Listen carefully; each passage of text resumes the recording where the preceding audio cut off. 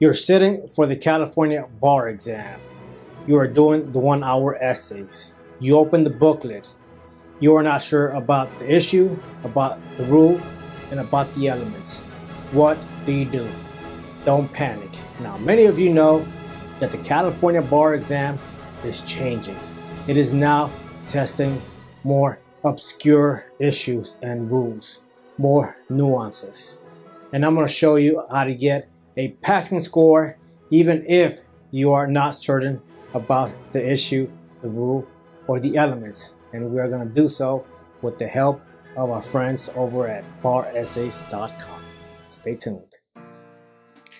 A lot of times after an exam is administered, many of the people who took the exam, they will go to forums and then they will focus a lot on whether they discussed an issue. And, some of these people, they get like very upset, like when they discuss an issue and maybe others didn't. They'll they'll be like, hey, yeah, you should discuss this issue. If you didn't, you're gonna fail.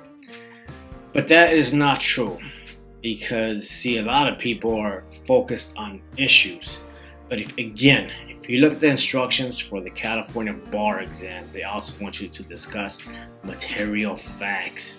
So what happens is that a lot of people become obsessed with issue spotting and they tend to, I would use even the word neglect a lot of the incorporation of the facts. They overlook uh, the use of many other facts, and that's why even if they they uh, identified and used the issues, that does not necessarily mean that they're going to pass the exam.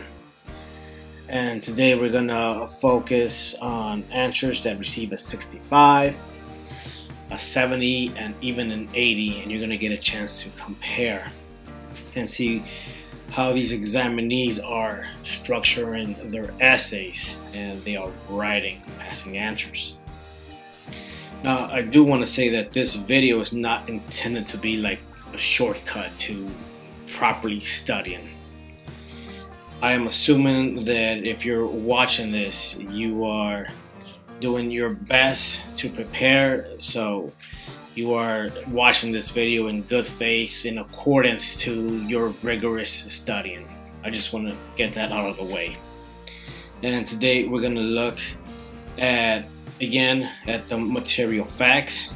I want to focus on that because even if you have again the proper issues but you do not identify the material facts and and if you do not distinguish the material facts from the immaterial facts again you are not going to get a passing score so I want to say that as well and of course this is part of a larger course, the 1440 Advanced IRAC series. So if you haven't gotten that, there's going to be a link here at the bottom.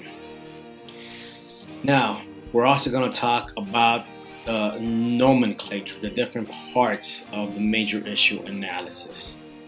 Let's start off by discussing the material facts. Now again, whatever issue you discuss has to have its origin reasonably derived from the facts. So today we're going to focus on the confrontation clause. Now this is a very difficult issue to understand.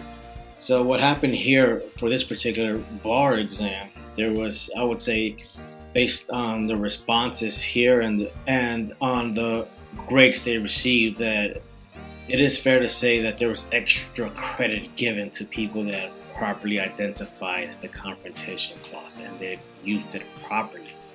And let's look at the statistics here. So again, this is just a sample taken from baressays.com and I just went to the people that had responses that were typed. And let's see now. So I, I even looked at the model answers from the State Bar of California and they're both model answers they touched on the confrontation clause, and there was a response found in baressays.com with an 80. They discussed it. 75 answers. There was no data for that. And answers that received a 70, there were four type responses, and two of them did discuss, two of them did not. And so that's 50% of the responses. And for the 65 answers, there was five type responses, and 20% of that, only one discussed the confrontation clause. So I don't mean to say that that you have to particularly like follow one format. Like there's not just one correct answer, and you have to have that. But again, the instructions do say that you have to discuss the material facts, and that is what they did. But the reason why I'm discussing the confrontation clauses because it's an example of what happens when maybe uh, everything is coming at you and you're not sure about which issue is being focused on. So what do you do is you say, hey, look, I know how to analyze. Okay, I know how to look at the facts here. And I'm going to do my best. I'm going to write a standard, a very structured response. I'm to be organized. So that's what we are going to focus on here today. And another thing is that, of course, this video here is going to be focused on establishing that minimum competence response. And I'm not saying that you should aim for a 65. I mean, you should aim, but you should also look to improve to a 70. And that's why we're going to look at, at a 70 response and even an 80. But it's very important to say this, that before you start writing answers that go towards a 70, you should know what a 65 looks like. I would even say you should even master the response at the 65 level. You got to start somewhere. So you do have to be patient. And of course, the instructions say that you must write in a lawyer-like manner. So what does that even mean? And when you talk about a response that fits that style, that lawyer-like style, you have to talk about organization. And that's why we're going to focus on the nomenclature of a major issue analysis. So let's talk about the nomenclature for that major issue analysis. So of course you have IRAC, you see I-R-A-C, but do not be misled or how would I say, don't oversimplify the IRAC method because it's not as simple as you know many people say hey all you got to do is IRAC well yeah but there's more elements to that and today we're to go through that and of course, for many of you, this is review. And so, okay, so the issue, rule, and the element, many, most people get that. Where they fall short is where they have the performance of the analysis. So again, many people use here, and here's where you have the counter argument. Now, I wrote here that after the counter argument, you insert a rebuttal or a supporting statement to the counter argument. Now, me personally, I like to write an argument, which is placed here, and then provide a counter argument to that argument, and then write a rebuttal. And I do that just to stay, keep it simple and keep the same structure. It makes it easier for me. But if you also want to present your argument, that's fine, and then present a counter argument. Maybe you find that counter argument more appealing, and then in that case, you do not write a rebuttal. You write a supporting statement to the counter argument. So think about this like the elements to a plot, right? You have the exposition, the rise in action, the climax, uh, the following action, and the resolution. So it's a very standard.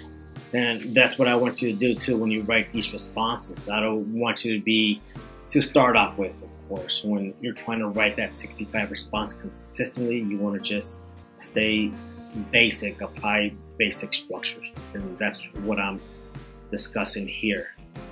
And then, of course, you have the conclusion to the element, and then the overall conclusion. Again, two conclusions there. Now, let's look at a response that was given a score of 65. And I'm just going to focus here on call question one for the July 2018 California bar exam. So let's go to page three of five. And here, the person who wrote this said, hey, look, I'm going to insert a counter argument and I'm going to use the issue of spousal immunity privilege. So today we're going to focus on this and see how they could have done better because the next response that we're going to view is going to be a 70. So let's look at the elements here, the, the nomenclature. So we have the issue here, and we have the rule, valid marriage, and then they give the argument. Let's look at this screen because in this version here, the components of the major issue analysis are emphasized. So it's the same content, it's just broken down. So again, the initial argument here, and then they give the counter argument. However, right? And then after that, they are missing the rebuttal or the statement in support of that counter argument. Look at that, none. Conclusion to the element, none. And conclusion to the issue, that one is present. Now that is a 65, that is minimum competence. This writer here could have definitely made this a little bit stronger. And we're gonna look at the 70 response now and see what they did different. Okay, here we go. Let's grab that 70 response. And they also focused on spousal testimony. Let's go there. So here we have issue, then we have the rules there, the elements, and it says here. Okay, great. Again, let's switch to this format. And let me continue. It says here, Deb may claim the spousal testimony privilege applies, and Vic may claim this privilege as well. And then they insert the counter argument. Now, notice how here is just in the same sentence. However, this privilege does not apply to Vic and Deb, and because they are not actually married.